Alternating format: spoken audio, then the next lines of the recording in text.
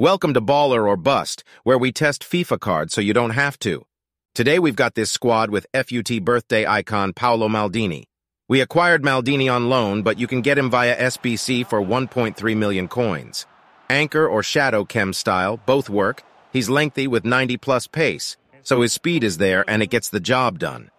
Passing wise, this man has 37 curve. How is that even possible? A six-year-old can put more curve on a ball than that. This guy can short pass, and that's it. His lack of passing is a huge reason as to why he can't be used as a left back or CDM. Dribbling-wise, he's got 5 star skills and 63 dribbling stat. IDK what EA were building here something weird, man. His dribbling is good enough to escape pressure but won't be doing anything else.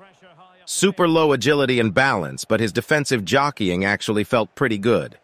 Defending-wise, well, both of those chem style max out all his defending stats.